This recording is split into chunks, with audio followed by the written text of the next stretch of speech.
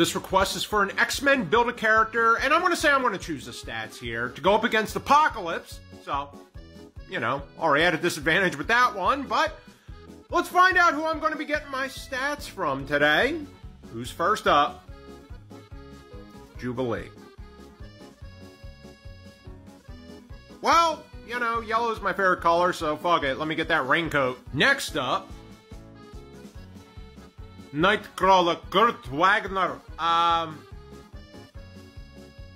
let me get his speed. He's pretty agile. Who's third?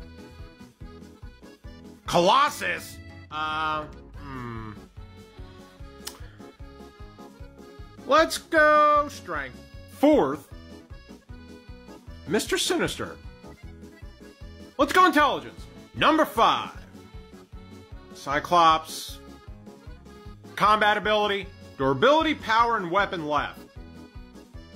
Iceman. I don't know if I'm going to get Phoenix, so I'm going to say power. Last one where I get to choose.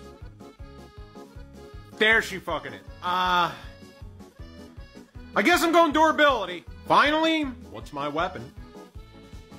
A bow staff and a deck of playing cards. Right, we could challenge Apocalypse to a game of Go Fish.